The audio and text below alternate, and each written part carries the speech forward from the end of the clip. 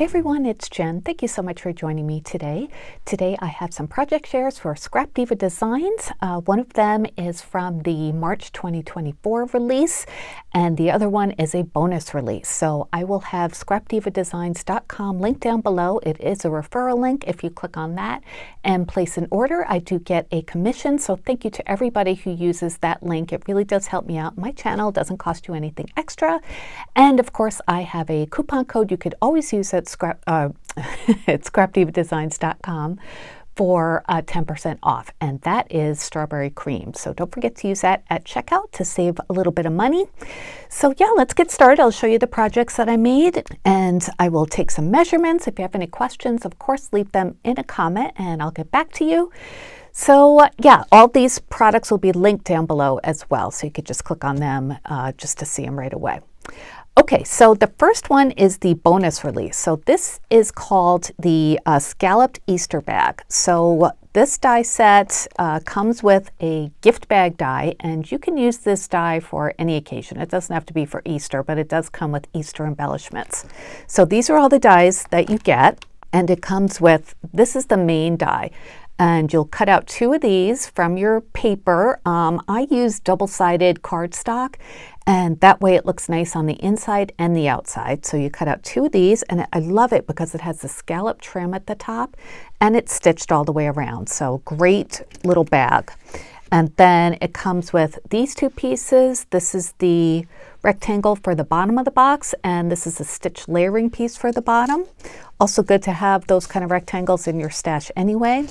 And then the embellishments it comes with, it comes with this cute bunny profile, which is just so adorable. And then there are layering pieces for this, which include the ear or the inner part of the ear, some whiskers, this well, there's the eye, um, an eyebrow if you want to use it. Here is a nose and a mouth and an extra nose piece if you want to change the pattern of that. And then this is part of the bow, which is the next part that it comes with. So it comes with these bow pieces and they're nice stitched bows. I love the, the tails of the bow here and uh, it makes a really nice bow that of course you know you can use for any application and then it comes with these two other kind of bows that you could add for decoration on your bunny if you want, either a bow tie or a bow in their, you know, ears or hair or whatever to make it into like a girl bunny. So lots of different possibilities. And I did make both of mine like springy. I put the, the bunny on the first one that I made. So let me show you that. Here it is. And uh, isn't that adorable? I didn't put the eyebrow on. I kind of forgot about it, but then again, I don't think it needs it. So um, I cut the bag itself out of this cute bunny paper, and this was from a spring collection. And if you look on the inside, it's double-sided, so it just, you know, makes it really quick. You don't have to like cut multiple layers or anything. And if you use nice, you know, regular cardstock, it makes a nice um, heavyweight bag or, you know, mid-weight bag. And since it's probably a gift bag, you don't need to go crazy making it like super heavyweight. But um, yeah, it's it's nice and sturdy, definitely. And it comes together so quickly. So if you wanted to make um, a few of these for gifts, you know, it wouldn't take too much time to do. Like I said, you just need the two pieces, the front and the side, and then the back and the side, and then the bottom of your box. And that's it. You just glue them together on the glue tabs using either your double-sided tape or your glue and just fold it on the fold lines and you're good to go. So this is the bunny that I made. I cut out of some foam board from Walmart and that same pattern paper that I used for the bag, but just I used the purple side for the bunny. And then I used some, what is this, Sizzix paper that's like holographic pink paper.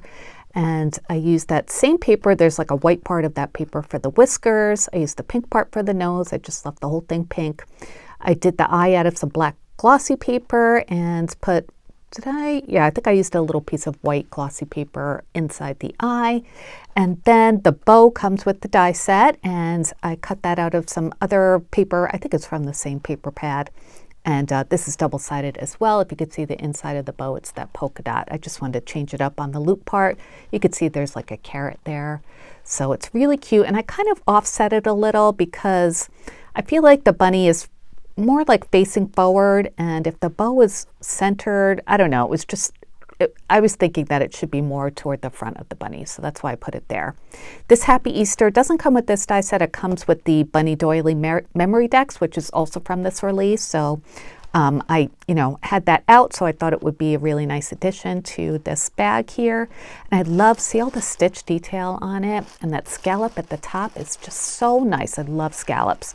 And then I added some holes. I punched holes, two in the front and two in the back, and then I just tied some ribbon through them, just knotted them on the inside, just to make some little handles. It doesn't come with the handle die, but I like being able to put ribbons on the uh, you know, on the bag for a handle anyway.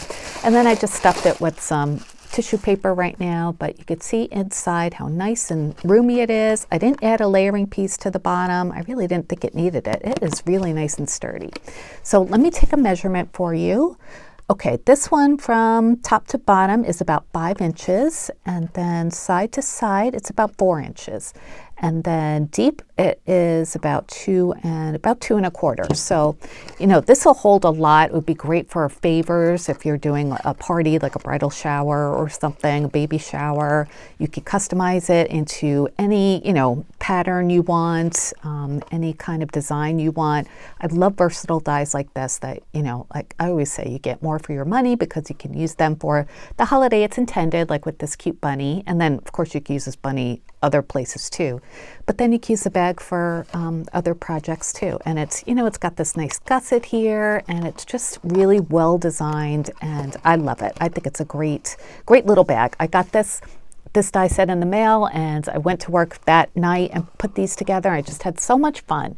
So this is the second one that I made and this one I kept very simple. I used the same paper pad, I believe, for the, for the construction of the box. And then on the inside, it's double-sided, so that's the inside of the box, It's like loud floral print, which I probably would never put on the outside of a box, but I think for the inside, it's kind of fun.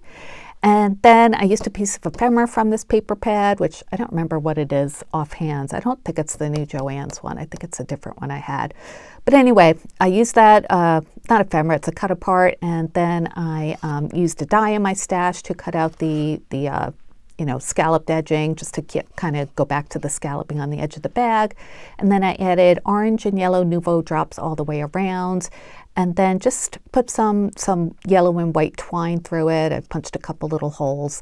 And then these are those clips that I got from Temu recently, if you watched that haul. Um, these are hair clips, but I, they're so tiny. I think they're really cute on paper projects too. And yeah, that way whoever gets this gets a little clip as well.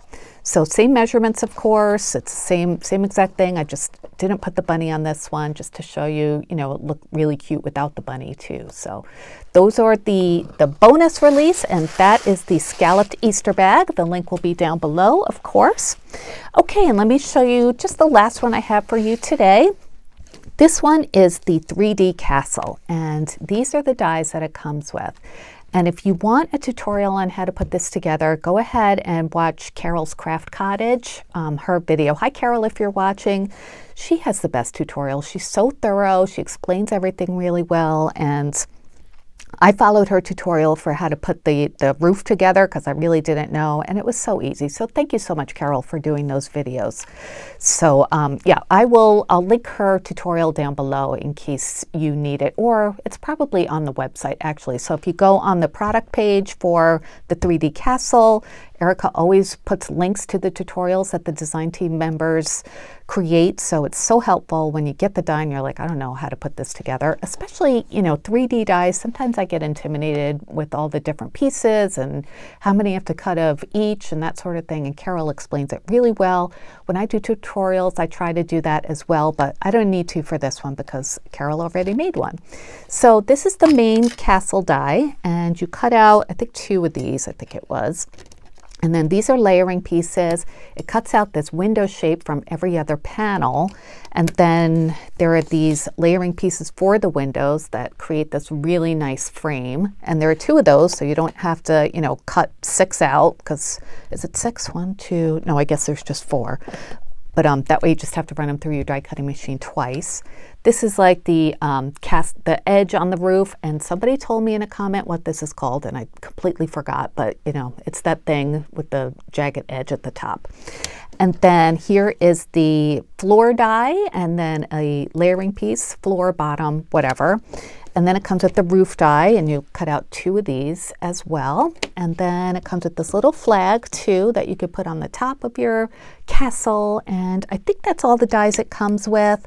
Let me show you my little project I made. And oh my gosh, there are so many cute ones out there, but I wanted to make mine um, uh, just like a little bit different. I love the princess theme, but um, I was thinking castle, like sand castle. So, you know, summer's coming up. I thought a cute little like sandcastle beach theme one would be fun. So this is what I made. And yeah, isn't that adorable? The collection that I used for the paper, this is an older one from Authentique, and it's called Sea Maiden. Remember when Hobby Lobby used to carry Authentique, like collection kits and paper pads and stuff. This is from 2018, I believe. Yeah. So I don't think they do anymore, but I remember I got this on sale and um, I haven't used it too much since then, but this was, I thought, the perfect opportunity to use it. I remember I had it, so I looked in my summer stash and there it was. So let me take you through this cute little castle.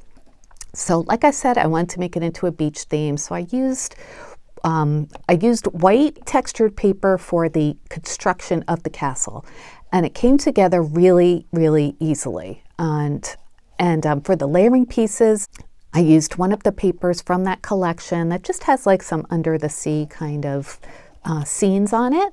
And then for the background of the of the uh, window, I use like the sand print. I use that same one for this little wall here. And then I use some gold glitter paper for the for the frame because I think it looks kind of like sand, you know. So I did that on all four of the windows.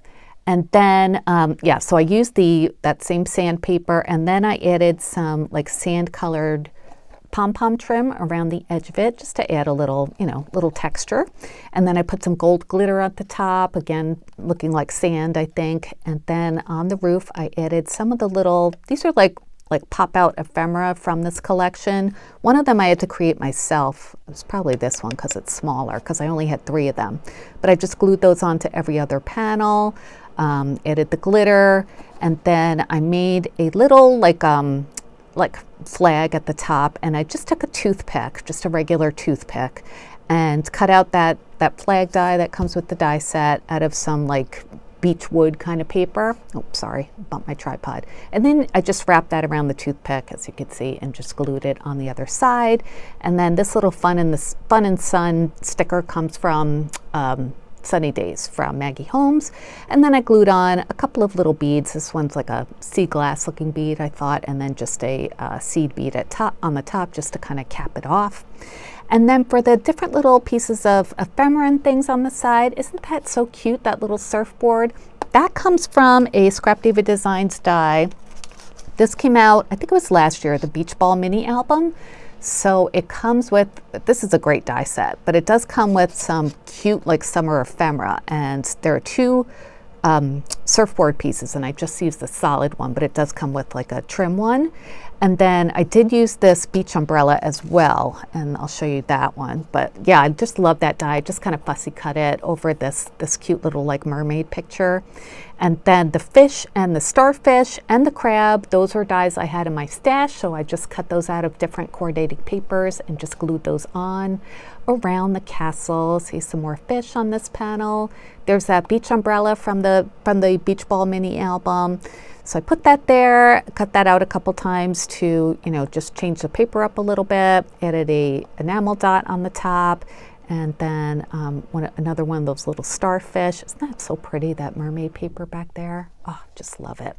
Cute little crab there, just kind of walking around. Here's another surfboard. Again, I fussy cut it on a, a pretty pattern from the Sea Maidens. Another starfish, another fish.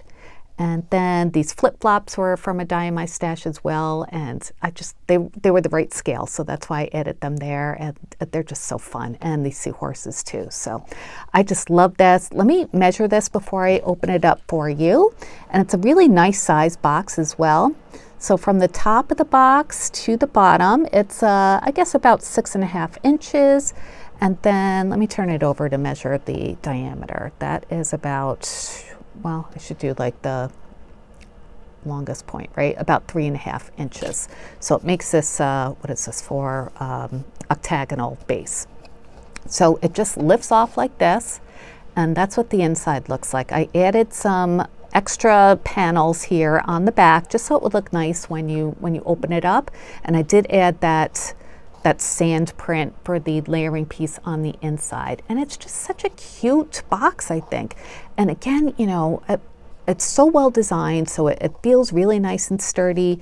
And when you construct the roof, it just goes on so nicely. Now I have pom-poms here, so I kind of have to, you know, make sure those are out before I put the put the lid on the box. But it feels really nice and solid and um, like I said, it was it was easy to put together once you knew how to do it, and um, yeah, I just really enjoyed making this. I love all the different ways that you can construct this. There are, um, I think it was Jen Jen Cassell uh, has a tutorial for how to make this really pretty, like big castle, and using this in like different ways throughout that castle. So it's really cute. You can make a double layered one. So it's just so fun to see what people come up with. So yeah, I made a sandcastle like I thought, and I, like I said, and uh, I, I, love it. I think it's really cute. I'm not big of a uh, like summer decorator, but I just love this pretty mermaid theme, and I could see this in my powder room. You know, just put like some uh, cotton balls or whatever in here just to you know have it a little bit hidden, but also to be decorative at the same time. So yeah, those are my projects for today. I hope you like them. Nice and big. Um, they'll be linked down below. And um, of course, if you have any questions, please let me know in a comment.